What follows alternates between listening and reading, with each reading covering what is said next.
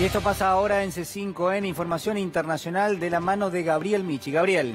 Bueno, sin duda un tema que estaba preocupando muchísimo es este rebrote que se está dando en Europa, particularmente en España, donde, según eh, la Secretaría de Sanidad, se han registrado 7.000 nuevos casos 2.400 de los cuales ocurrieron en las últimas 24 horas, ¿no?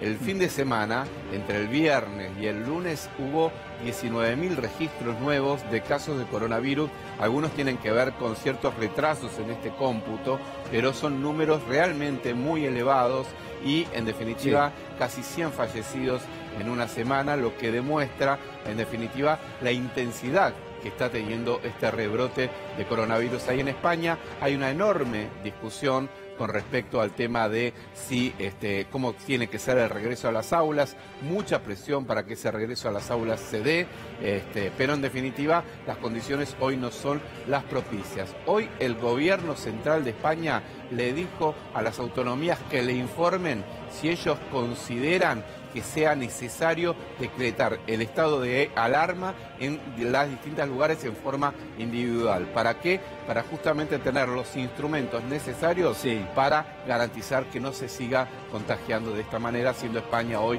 el país de Europa con más rebrotes. Bueno, preocupante ¿eh? la situación en España, nos muestra un poco el camino, lamentablemente digo que le sigue a la Argentina, así que vamos a seguir sobre este tema. Gracias, Gabriel. De nada.